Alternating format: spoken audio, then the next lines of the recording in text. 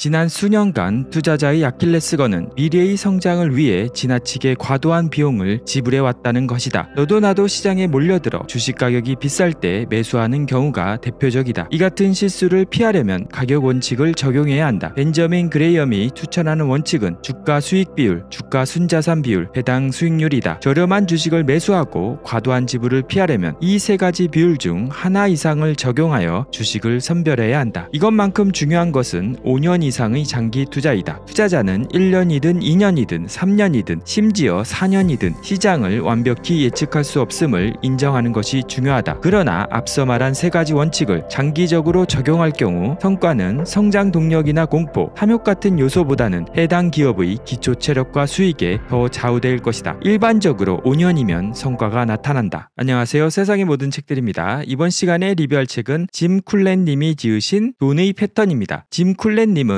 셰퍼 쿨렌이라는 투자 자문 회사를 운영하고 있는데요. 25조 원의 자산을 운영하고 있으며 4만 명의 고객을 보유하고 있다고 합니다. 저자는 장기 투자에 초점을 맞춘 가치 투자, 즉 주가 수익 비율, PER, 주가 순자산 비율, PBR, 배당 수익률에 기반한 투자 원칙으로 자산을 운용하고 있다고 합니다. 우리는 투자할 때 복잡한 투자 공식이나 남들이 모르는 비법을 사용하면 큰 돈을 벌 수 있을 거라고 생각하곤 하는데요. 저자는 정말 단순한 투자 원칙으로 5년 이상 장기 투자를 하면 큰 돈을 벌 수 있다고 합니다. 그리고 이 책에서 데이터를 통해서 자세히 결과를 설명하고 계십니다. 그리고 보통 성장주 투자가 가치 투자보다 훨씬 수익률이 좋다고 생각을 하는데요. 하지만 장기적으로 보면 가치 투자가 더 좋은 성과가 난다고 합니다. 저는 이게 정말 믿기 어려웠었는데요. 최근에 기술주 폭락 사태를 보고 또 저자의 이야기를 들으니 어느 정도 이해가 갔습니다. 자, 그럼 이 책의 목차를 한번 살펴보겠습니다. 이 책은 총 6가지 패턴으로 구성이 되어 있는데요. 패턴 1은 주식 투자, 그야말로 전쟁. 패턴 2는 가치 투자 5년의 법칙 이해하기. 패턴 패턴 3은 market timing에 대한 오해, 패턴 4는 좋은 주식 선택하는 법, 패턴 5는 가치 투자 5년의 법칙 적용하기, 패턴 6은 하락장이든 상승장이든 방법은 있다. 이렇게 구성이 되어 있습니다. 처음부터 끝까지 되게 흥미롭고 재미있는 내용이었는데요. 이번 시간에는 패턴 2에서 2장 가치 투자 원칙, 3장 수익, 왜 주식은 상승할까, 5장 가치주 vs 성장주, 6장 가치주의 실적이 높은 이유, 그리고 패턴 3이 너무나 중요하다고 저는 생각하는데요. 9장 마켓 타이밍은 침묵의 살인자를 살펴보겠습니다. 자, 그럼 바로 책 내용을 살펴보겠습니다. 패턴 2 가치 투자 5년의 법칙 이해하기 2장 가치 투자 원칙 벤저민 그레이엄의 세 가지 원칙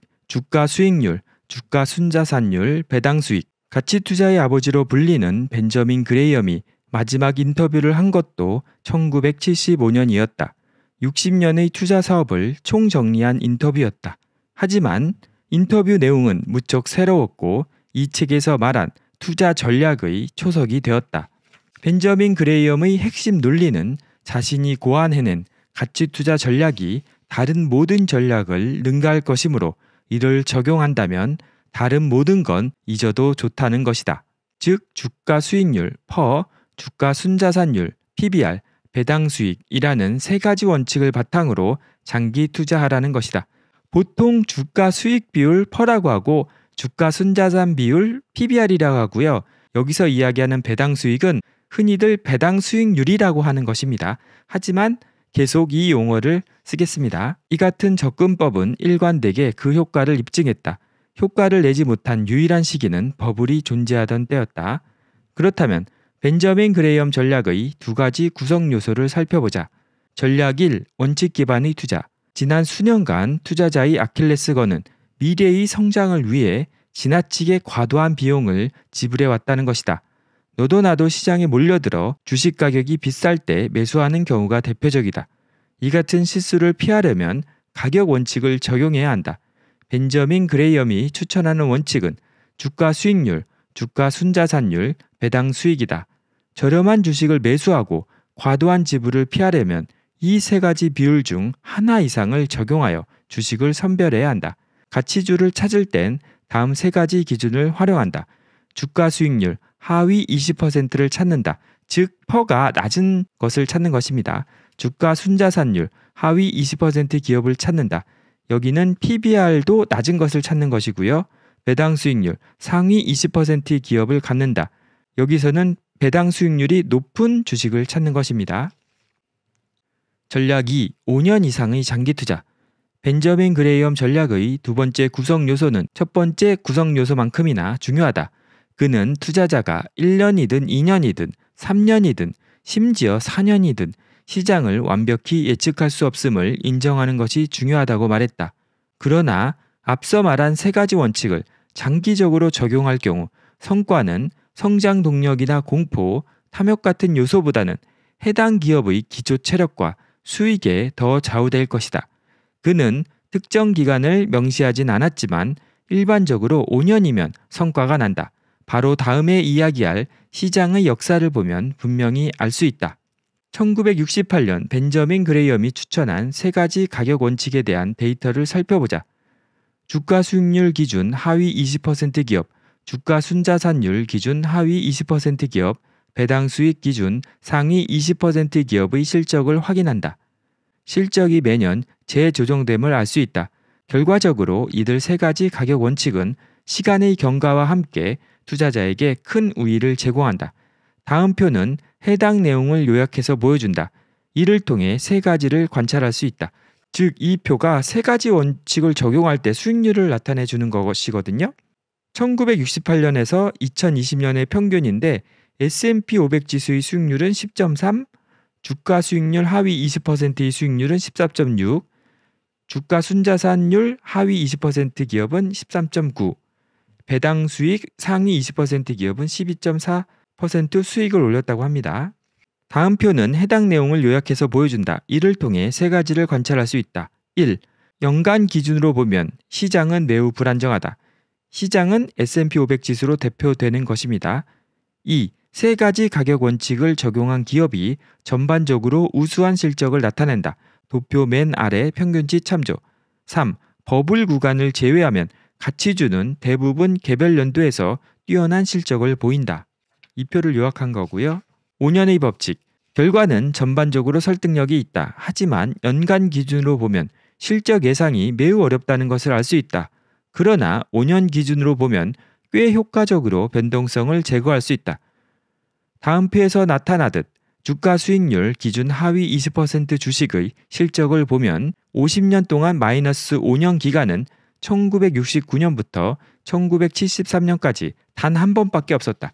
이 표가 그것을 나타내는데요. 퍼 기준 하위 20% 주식에 투자했을 때 5년 동안 성과가 마이너스인 경우는 딱 한 기간밖에 없다고 합니다. 대단하네요. 주식 시장은 대개 힘든 5년을 겪고 나면 다음 5년은 극도의 강세를 나타낸다. 주식 시장의 역사를 보면 약 10년마다 2배씩 수익이 증가하는데 5년간의 실적이 제자리를 유지하면 다음 5년 동안 이를 보충하는 경향이 있다. 5년의 약세장 이후 5년의 강세작이 이어지는 패턴은 다음 표에서 확인할 수 있다. 세 번의 가장 어려운 시기를 예로 들어보자. 즉, 이 표인데요. 이거를 설명하고 계십니다. 1969년에서 73년 수익률은 마이너스 0.9%였다. 그러나 이후 5년간 수익률은 21.1%를 기록했다. 1970년에서 74년도 마찬가지다. 0.4%로 약세를 보인 수익률은 다음 5년간 무려 30.7%로 급등했다. 2004년에서 2008년 수익률도 0.2%로 저조했으나 이후 5년 동안 25.3%까지 상승했다. 즉 부진한 5년을 보낸 이후에 실적이 폭발을 하기 때문에 5년 동안 장기 투자를 하면 손실을 거의 안 본다고 합니다. 기록은 정확하다. 원칙을 갖고 장기적으로 투자하는 전략은 시간의 경과에 따라 투자자에게 우위를 제공한다. 수년에 걸쳐 진행된 다른 유사한 연구도 같은 결과를 보여준다. 주가 수익률 배수에 기반한 초기 통계 연구는 밀러 앤더슨의 폴 밀러에 의해 수행되었다. 이 표인데요. 위의 표에 나타난 연구 결과는 베런즈에 실렸다. 주가 수익률 기준 하위 10분위 주식은 모든 기간 1년, 2년, 3년, 9년에서 가장 높은 성과를 보였다. 다음 표는 파이낸셜 애널리스트 저널에 실린 프랜시스 니콜슨의 연구 결과를 보여준다. 그의 연구는 1937년에서 63년 동안 100대 우량주를 중심으로 진행되었다. 연구 결과 주가 수익률 기준 하위 5분위에 속한 주식은 모든 기관에서 가장 높은 성과를 나타냈다. 밀러와 니콜슨 그리고 우리 연구 결과는 1937년부터 지금까지 83년 동안 가치 투자의 우수한 실적을 잘 보여준다. 이들 연구와 다른 기관의 다른 지표를 사용해 수행한 연구에서도 5년의 법칙이 나타났다. 그리고 그 결과는 모든 원칙 기반의 장기적인 가치 투자가 투자자에게 확실하게 이익을 준다는 것을 보여준다. 이것은 이 책이 기술된 투자 철학의 핵심이다.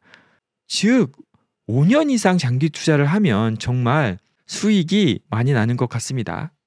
다른 책들에서도 이런 이야기를 많이 하는데요. 10년, 20년 장기 투자를 하면 손실을 볼 확률이 거의 0에 가깝다고 그렇게 얘기를 하거든요. 3장 수익 왜 주식은 상승할까? 시간이 지나며 주가가 오르는 이유는 수익을 쫓기 때문이다. 수익은 장기적으로 증가한다. 즉 결국에는 주가는 수익에 수렴하기 때문이거든요. 불규칙적이긴 하지만 수익은 보통 10년에 한 번꼴로 두 배가 된다. 기업은 경기 침체나 인플레이션, 팬데믹, 국제적 위기 같은 상황에 직면했을 때 이를 해결하고자 가격을 조정함으로써 수익을 증가시킨다. 그리고 그 혜택은 투자자에게 돌아간다. 1940년부터의 현황을 보여주는 다음 도표는 해당 기간에 총 13회의 경기 침체가 발생했음에도 불구하고 주당 순이익으로 표시된 기업의 총 수익이 어떻게 꾸준히 증가했는지 보여준다. 이 표거든요. 즉, 주당 순이익이 경기 침체에도 불구하고 계속 증가를 했고 그것에 발맞춰서 S&P 500 지수도 꾸준히 증가하고 있는 것입니다. 이 밑에 표, 다음 표는 S&P 500 주당 순이익이 약 10년마다 2배가 되는 상황을 보여준다. 즉, 이 표에서는 1932년에서 2018년도까지 주당 순이익이 거의 10년에 2배씩 증가하는 것을 나타내주고 있습니다. 즉, 주식의 가격은 기업의 수익이 증가함에 따라 어쩔 수 없이 상승하게 된다는 이야기입니다. 5장 가치주 성장주 가치주 투자냐 성장주 투자냐에 대한 논쟁은 항상 존재했다.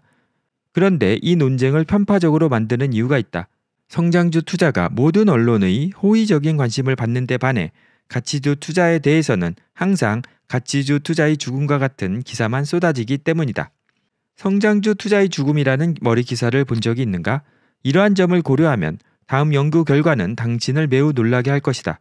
이 연구는 5년 연속 수익률을 바탕으로 성과를 측정했다. 앞서 살펴봤듯 5년은 연간 실적 변동성이 완화되기에 충분한 시간이다. 따라서 1968년부터 5년 단위를 적용하면 기간별 가치 투자, 주가 수익률 하위 20%와 성장주 투자, 주가 수익률 상위 20%의 성과를 비교할 수 있다. 여기서 제가 덧붙이고 싶은 말이 있는데요. 여기서 저자는 가치주는 주가 수익률이 낮은 것, 그리고 성장주는 주가 수익률이 높은 주식을 성장주라고 분류를 하고 있거든요. 하지만 제가 최근에 읽은 홍진채님의 책에서 보면은 가치주와 성장주를 이렇게 나누는 게 적합하지 않다고 하시거든요. 즉, 가치주는 가격이 낮음과 동시에 성장성도 겸비해야 한다고 그렇게 얘기를 하시거든요. 하지만 보통 우리가 관행상 가치주라고 하면 PER나 PBR 등이 낮은 주식을 이야기하고 있기 때문에 그 관례에 따라서 그렇게 분류를 하신 것입니다. tech bubble 시기와 2014년에서 20년 FANG 주식 및 소셜 미디어 붐 시기만 제외하면 가치주 투자의 성과는 성장주 투자의 성과를 크게 앞질렀다. 즉 이 표에서 S&P 500 주가 수익률 기준 최하위 및 최상위 주식에 대해서 설명하고 있거든요. 즉 주가 수익률 상위 20% 성장주의 수익은 9.70%고요. 주가 수익률 하위 20%즉 가치주의 수익률은 14.60%라고 합니다. 그런데 여기서 또 하고 싶은 말이 있는데요. 이건 너무나 당연한 결과인 것 같기도 하거든요. 왜 그러냐면 가치주를 PER가 낮은 기업이라고 했고 성장주를 높은 PER를 가진 주식이라고 했기 때문에 당연한 결과인 것 같거든요. 제가 생각하기에는 PER가 높으면은 고평가됐다는 이야기고 그래서 하락할 확률이 크고 PER가 낮은 기업이라는 것은 저평가됐기 때문에 상승 확률이 클 거잖아요. 그래서 이 결과는 너무나 당연한 결과인 것 같습니다. 하지만 우리가 투자할 때는 퍼가 높은 주식을 사서 문제인 거죠. 하물며 두 번의 예외 시기조차 성장주 투자의 성과는 미미했다. 그리고 일단 가치주의 성과가 성장주의 성과를 앞지르고 나면 성과 차이는 계속해서 벌어지는 경향이 있다. 지난 2005년 가치주 투자와 성장주 투자의 결과 비교 연구를 수행한 후 우리는 왜 모두가 가치주 투자를 안 하는지 궁금했다. 가치주 투자의 성과는 매우 높고 지속적이었기 때문이다. 이 질문에 답을 하고자 우리는 2005년 이전 20년간의 성과 추적을 위해 두 번째 연구를 수행했다. 그 결과는 다음 표에 나와 있다. 가치주 투자는 20년 내내 좋은 성적을 거두었지만 최고의 성과를 낸 건 20년 중 2년에 불과했다. 다시 말해 나머지 18년 동안은 가치주 투자 외에 다른 전략이 더 좋은 성과를 내며 언론의 주목을 받았다는 것이다. 즉 연간 실적은 대기업 가치주가 훨씬 높았지만 최고인 경우는 적기 때문에 다른 주식들이 더 곽강을 받는다는 것입니다. 즉 버크셔 해서웨이 주식은 정말 꾸준하게 증가를 하더라고요. 근데 우리가 빅테크라고 하는 주식들은 수익률이 폭발적으로 증가를 하는 때도 있지만 정말 무섭게 주가가 또 떨어지는 시기도 있더라고요. 그래서 실제적으로 성과를 보면 가치주가 더 높은 것 같기도 하더라고요. 근데 이렇게 데이터로 설명을 하고 계십니다. 6장 가치주의 실적이 높은 이유 5장 가치주 vs 성장주 내용을 보면 가치주 실적이 성장주 실적을 지속적으로 그것도 큰 폭으로 앞선다는 사실을 알 수 있다. 여러분은 이를 믿기 어려울 것이다. 앞서 확인했듯 언론은 오직 성장주에만 열광하며 보도하는 탓에 가치주의 꾸준한 성장에 관해 대중은 알 길이 없기 때문이다. 가치주가 성장주를 크게 앞서는 이유는 성장주의 경우 하락이 한 번 시작하면 가파르고 길게 이어지기 때문이다. 반면 가치주는 상승기에도 완만하게 올라가고 성장주가 투자자의 관심에서 멀어질 때 성장주 실적을 눈에 띄게 앞선다. 가치주 vs 성장주 연구의 핵심은 5년 단위로 성과를 분석하는 것이다. 이는 앞서 말했듯이 성과를 고르게 하고 성장주와 가치주 논쟁에 열쇠를 제공한다. 다음 도표는 성장주가 크게 인기를 끌었던 시기를 보여준다. 즉, 이 표거든요. 왼쪽이 Nifty Fifty가 인기 끌 때, 중간이 tech bubble일 때, 오른쪽이 FANG주가 인기일 때입니다. 이때는 소수의 고성장주가 S&P 500 지수의 상승을 견인했다. Nifty Fifty bubble 및 tech bubble 시기에는 가장 인기 있는 종목이 S&P 500에서 가장 큰 비중을 차지했다. 전체 시가총액 대비 인기 종목의 비중은 Nifty Fifty bubble기에 23.1%, tech bubble기에 18.0%였다. 도표의 가장 오른쪽은 2020년 FANG 주식의 비중이 가장 높았던 시기다. 마이크로소프트, 애플, 아마존, 알파벳, 페이스북 5개 종목의 시가총액이 S&P 500 시가총액의 21.5%를 차지했다. 도표 아래 이어지는 첫 번째, 두 번째 표는 각각 Nifty Fifty 및 기술주가 이후 5년, 심지어 10년 동안 어떻게 가파르게 떨어지는지 보여준다. 세 번째 표는 팡호황기 당시 주가 수익률 배수를 기준으로 가장 높은 집중도를 보인 4개의 주식을 나타낸다. 아직은 이 시기가 어떻게 전개될지 알 수 없다. 하지만 우리는 알고 있죠. 그래서 이 세 가지 표가 앞에 얘기한 내용을 설명하고 있는 건데요. 주가 수익률 배수가 높고 즉 퍼가 높고 수익률이 좋았던 기업이 5년 후 10년 후 수익률이 확 떨어지는 것을 볼 수 있습니다. 2020년 FANG bubble기라고 해서 페이스북, 아마존, 넷플릭스, 구글을 이야기하고 계시는데요. 페이스북은 PER가 52였는데 최근에 가장 많이 떨어졌을 때가 75%, 지금 반등해서 50% 하락 중입니다. 아마존은 PER가 243배였는데요. 가장 많이 떨어졌을 때가 55%, 지금은 반등해서 45% 하락했고요. 넷플릭스는 PER가 471배였는데 75% 하락하고 지금 반등해서 45% 하락 중입니다. 구글은 PER가 38이었는데 고점 대비 40% 하락했고 또 반등해서 지금 30%입니다. 즉 결국에 저도 이렇지는 않을 것 같았는데 PER가 높으면은 결국 시장이 폭락기에 너무나 크게 떨어지더라고요. 그래서 결국 이 책에서 얘기한 것처럼 성장주는 상승도 폭이 크지만 하락폭도 정말 크다는 것입니다. 자, 그리고 제가 너무나도 중요하다고 생각하는 패턴 3, 마켓 타이밍에 대한 오해입니다. 9장 마켓 타이밍은 침묵의 살인자. 주식에 대한 마켓 타이밍 접근법은 특별히 유혹적이다. 투자자는 대개 자신이 아주 합리적인 이유 때문에 행동한다고 여기기 때문이다. 그러나 결국 이런 이유가 마켓 타이밍을 잘못 잡는 원인이 된다. 마켓 타이밍은 크게 두 가지 형태다. 1. 현금 또는 현금성 자산으로의 전략적 전환. 2. 실적 개선을 위한 시도. 하나씩 차례로 살펴보자. 마켓 타이밍 1. 현금으로 전환. 투자자 2명의 사례. 1985년 엘리트 고객 2명이 나와 같은 날 투자를 시작했다. 고객 A는 1년에 한 번 뉴욕에 와서 시장 상황을 논의했고 우리 투자 방식의 편안함과 안정감을 드러냈다. 반대로 상당히 유식했던 고객 B는 시장에 부정적인 상황이 발생할 때마다 이에 대응하며 20년간 5번 정도 현금으로 전환했다. 예를 들어 9.11 테러 직후에는 보유 주식의 50%를 현금으로 전환했다. 이런 상황에서 고객 A는 보유 주식을 그대로 유지했다. 이들이 투자를 시작하고 20년이 지났을 무렵 나는 두 계좌의 상대적 성과가 궁금했다. 그리고 결과를 확인해 본 결과 시장에서 몇 번의 움직임만으로도 성과 차이가 극적으로 벌어질 수 있다는 사실에 큰 충격을 받았다. 고객 A는 고객 B보다 투자 성과가 1000%더 높았다. 두 고객의 20년 수익률은 다음과 같다. 고객 A 계좌 1501%, 고객 B 계좌 519%. 프루덴셜의 연구 1991년 프루덴셜은 투자자가 공포에 휩싸여 다급하게 현금으로 전환할 경우 대부분 큰 손해를 봤다는 연구 결과를 발표했다. 30년 수익률을 분석한 결과 주식은 채권 수익률이나 물가 상승률보다 3배 이상 높은 수익률을 보였다. 그러나 360개월 중 나타난 10번의 주요 1개월 기간에 현금으로 전환한 경우 수익률 우위는 완전히 사라진 것으로 나타났다. 10번의 주요 1개월이 언제가 될지 투자자는 미리 알 수가 없다. 따라서 완전한 이익을 얻으려면 주식 투자를 100% 그대로 유지해야만 했다. 정말 이것에 공감하는데요.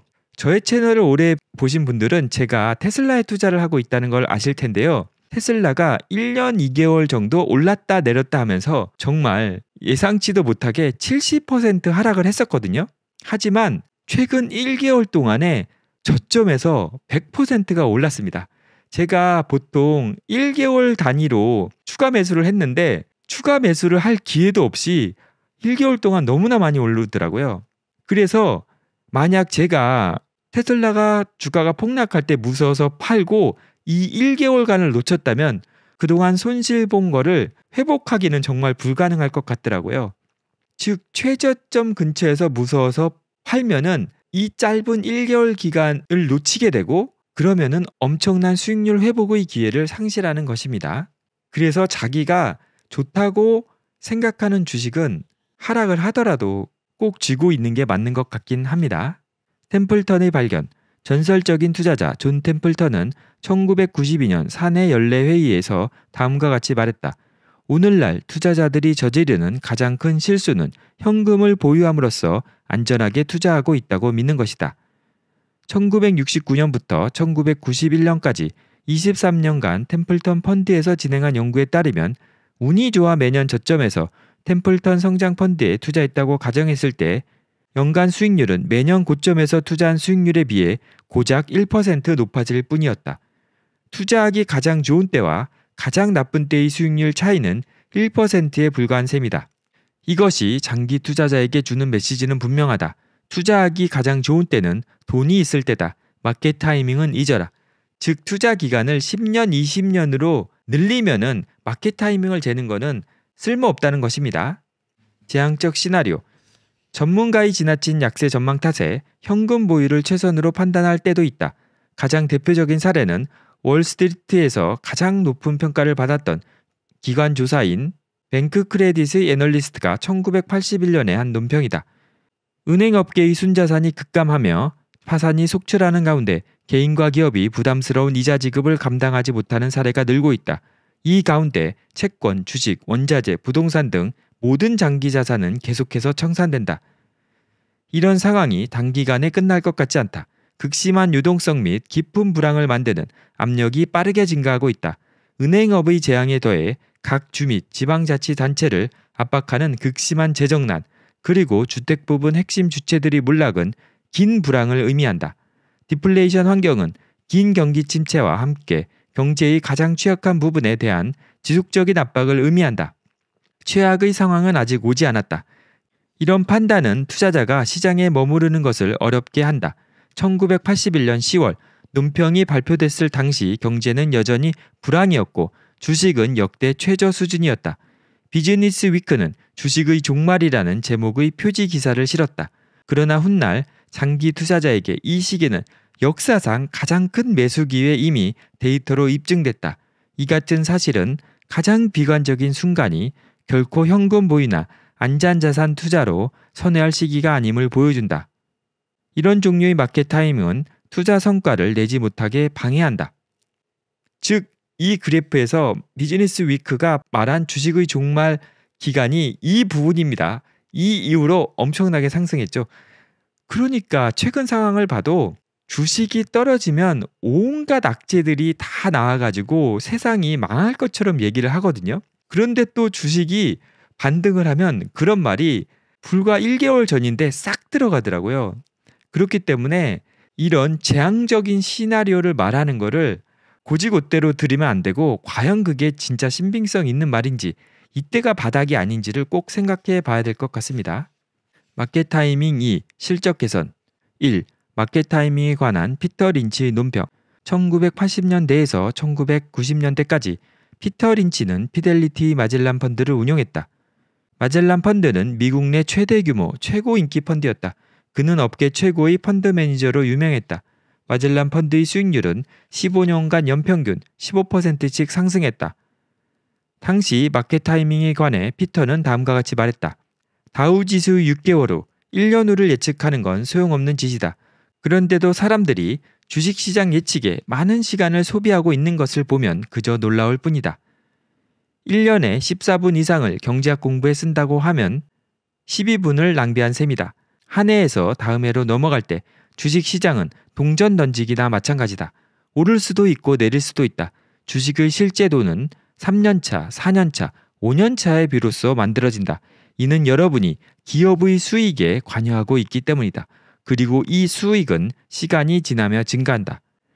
얼마 후 마켓 타이밍과 관련해 피델리티 실적을 분석한 연구가 진행됐다는 소문이 있었다. 연구 결과 마젤란 펀드의 경이적인 실적에도 불구하고 대부분 투자자는 돈을 벌지 못했다. 오히려 잃은 것으로 나타났다. 많은 투자자가 긍정적인 뉴스가 나오고 펀드 가격이 높을 땐 펀드를 샀다가 부정적인 뉴스가 나오고 펀드 가격이 하락하면 팔아버렸기 때문이다. 피델리티는 이 연구의 존재 자체를 부인했지만 마젤란 투자자들의 실적은 어느 정도 사실인 것으로 알려져 있다. 투자자 인텔리전스 연구 설문조사 업체 투자자 인텔리전스는 주식 투자 전문가를 대상으로 설문조사를 진행한 적이 있다. 주식 시장 역사상 가장 강력한 5년이 시작됐던 1990년 초 당시 설문 대상자의 60%가 시장 약세를 예측했다. 전문가들이 약세 전망에 대해 충분한 근거가 있는 듯 했다. 그러나 그 뒤로 1995년부터 2000년까지 막강한 5년이 지속됐다. 즉, 마켓 타이밍을 알 수가 없다는 거죠. 전술적 자산 배치. 1980년대 후반 우리 회사는 대규모 국가연기금 자산운용을 시작했다. 해당 기금의 투자위원회는 지나치리만큼 위험에 회피적이었고 가치 투자 전략을 추구했다. 투자가 시작된 지 6개월 후 시장이 상승해 실적도 매우 좋았다. 그러나 연기금 측은 지금 실적이 매우 인상적이지만 거절하기엔 너무 좋은 기회가 생겨 샌프란시스코의 한 회사로 계좌를 모두 이전할 것이라고 밝혔다. 연기금이 차마 거절할 수 없었던 새로운 전략은 전술적 자산 배치이었다. 이것은 이른바 소유 공식, 오늘날에는 알고리즘으로 불리는 데 기반을 둔 것이다. 언제 주식에 투자해야 하고 언제 채권에 투자해야 하는지 완벽한 신호를 제공한다. 당시 전술적 자산 배치 전략은 연기금 사업의 유행처럼 번져 나갔다. 일단 신규 업체는 연기금 자산 관리를 시작하면 소유 공식을 따랐다. 예를 들어 주식에서 나와 채권으로 들어가라는 신호를 나오면 그대로 실행했다. 그러나 주식의 상승장은 채권으로 갈아탄 뒤에도 계속해서 이어졌다. 오히려 더 큰 폭으로 상승하자 펀드 매니저들은 채권으로 괜히 갈아탔다고 불평하는 고객들로부터 압박을 느끼기 시작했다. 그래서 이들은 다시 주식으로 돌아갈 수 있도록 공식을 조정했다. 결국 채권으로의 이동은 주식의 정점에서 발생해 대량 매도세를 촉발했다. 6개월 후 고객들은 전술적 자산 배치 전략에서 벗어났고 이후 이들에 대한 소식은 들리지 않았다. 전술적 자산 배치라는 용어는 이미 사라진 지 오래다. 하지만 접근 방식의 변화, 그 중에서도 알고리즘 전략은 계속해서 제시되고 있다. 대개 전술적 자산 배치와 비슷한 부정적인 결과를 초래한다. 즉 시장의 앞날을 예측해서 좀 더 성과가 좋은 분야로 갈아타는 것도 결국에는 맞지를 않는다는 것입니다. 마켓 타이밍에 대한 설문조사, 즉 실적 계산을 위해 주식을 현금이나 기타 자산으로 전환하는 것은 마켓 타이밍이 투자 성과에 있어서 침묵의 살인자임을 보여준다. 결국 성과가 없다는 것입니다. 제가 생각하기에 이 장에서 정말 중요한 것을 이야기하고 있는 것 같거든요. 즉, 마켓 타이밍을 우리는 알 수가 없기 때문에 주식의 매수 매도의 기준이 시장의 예측을 기반으로 해서 이루어져서는 안 된다는 것입니다. 그리고 시장의 폭락을 예측해서 현금을 보유하는 전략은 급격한 시장 반등 시의 높은 수익률을 낼 기회를 상실하기 때문에 정말 위험하다고 생각합니다. 결국 시장에 남아 있어야 반등 시기의 수익률을 얻을 수 있다는 것이거든요. 하지만 제가 생각하기에 여기서 또 중요한 것은 마켓 타이밍에 신경 쓰지 않는다고 해서 높은 가격의 주식을 아무 때나 사도 된다는 것은 아닙니다. 저도 이것을 잘못 이해해서 투자를 했었거든요. 시장이 오르고 내림에 상관없이 저평가된 주식을 사라는 거거든요. 즉, 이 책에서 이야기한 대로 퍼 값이 낮거나 PBR이 낮은 주식, 그리고 배당 수익률을 많이 주는 주식을 낮은 가격에 사야 된다는 것입니다. 즉, 마켓 타이밍에 신경 쓰지 말라는 게 시간에 관계없이 고평가된 주식을 사도 된다는 이야기는 아닌 것입니다. 이렇게 제가 돈의 패턴에서 어, 볼 내용은 거의 다 살펴본 것 같고요. 그리고 이 앞에 콘트 투자 무작정 따라하기 저자 강한국 님이 이 원칙을 한국 시장에 적용해서 시뮬레이션을 돌려보셨거든요. 한번 이 부분도 상당히 의미가 있어서 한번 읽어보겠습니다. 쿨레는 이 책에서 그레이엄의 철학을 이어받아 일반인이 손쉽게 따라할 수 있는 가치 투자 기법을 소개한다. 이 책의 핵심은 그냥 퍼가 낮고 PBR이 낮고 배당 수익률이 높은 기업에만 투자해도 초과 수익을 낼 수 있다는 점이다. 그리고 이 방법을 꾸준히 유지한다면 만족할 만한 수익을 낼 수 있다는 점이다. 이 책을 한국에 적용한다면 어떤 결과가 있을까? 아래와 같은 전략을 만들어 봤다. 가치주 장기 투자의 원칙을 한국 시장에 적용. 1. 제외 기업은 금융주, 지주사, 관리 종목, 적자 기업, 중국 상장 기업. 2. 한국 모든 상장사의 펄을 계산하고 각 기업의 순위를 매긴다. 3. 한국 모든 상장사의 PBR을 계산하고 각 기업의 순위를 매긴다. 4. 한국 모든 상장사의 배당 수익률을 계산하고 각 기업의 순위를 매긴다. 5. 세계 지표의 평균 순위가 제일 높은 20개 기업에 투자한다. 6. 매년 4월 말, 10월 말, 1에서 5를 반복한다. 즉 4월에서 10월에 분기 데이터를 기반으로 리밸런싱을 한다는 거거든요.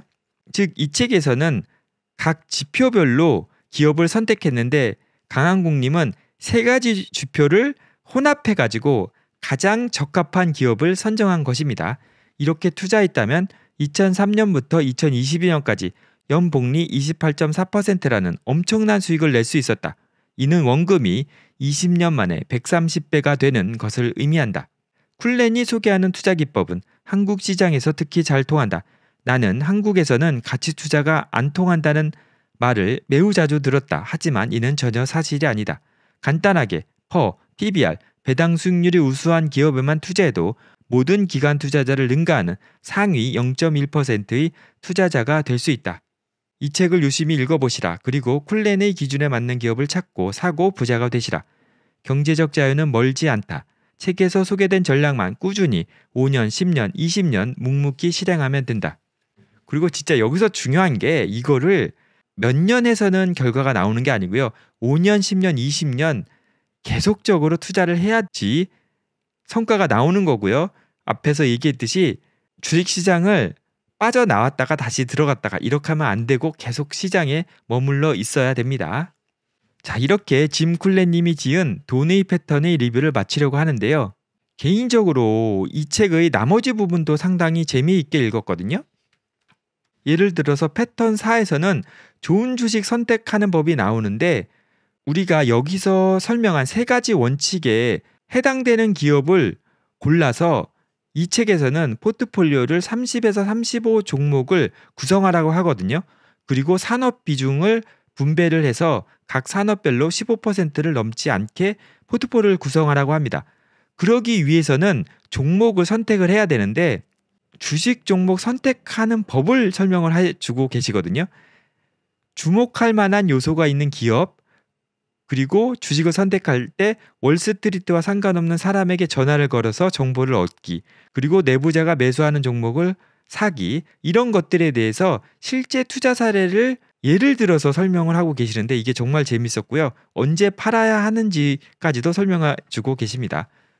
그리고 패턴 6도 정말 읽어볼 만하다고 생각을 하거든요. 하락장이든 상승장이든 방법은 있다는 것인데요. 이 패턴 6에서는 약세장과 강세장이 어떻게 반복되는지를 거의 100년의 주식시장 역사를 통해서 알려주고 계시거든요. 그래서 결국 우리가 왜 약세장에서 버텨야 되는지도 자세히 설명을 하고 계십니다. 만약 이번 시간에 설명한 내용에 관심을 가지시는 분들은 이 책의 나머지 부분도 한번 꼭 읽어보시길 바랍니다. 책 내용이 주식 투자를 처음 시작하시는 분들도 이해하기 쉽게 굉장히 쉽게 쓰여져 있거든요. 그래서 한번 구해서 꼭 읽어보시기 바랍니다. 이번 시간 영상이 도움이 되셨거나 다음 시간 영상이 기대가 되신다면 좋아요와 구독, 알람 설정 부탁드리겠습니다. 그리고 책 내용과 영상 내용이 너무 좋기 때문에 여러분들에게 소개해 주셨으면 감사하겠습니다. 긴 시간 동안 시청해 주셔서 감사하고요. 다음 시간에도 좋은 영상으로 찾아뵙겠습니다. 감사합니다.